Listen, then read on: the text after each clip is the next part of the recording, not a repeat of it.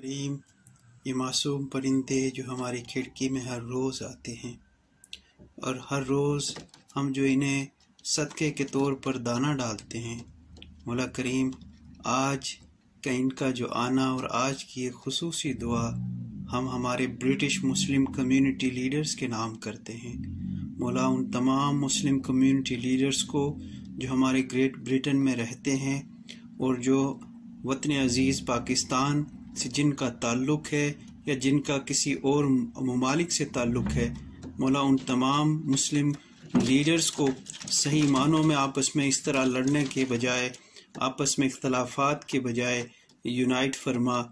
और मौला करीम, जो मुस्लिम कम्युनिटी लीडर्स यहाँ पर हैं, उन्हें फ़ोटो सेशंस के बजाय फ़ोटो लीडर बनने के बजाय अमली तौर पर भी इस्लाम का अच्छा इमेज प्रेजेंट करने की सादत अता फरमा।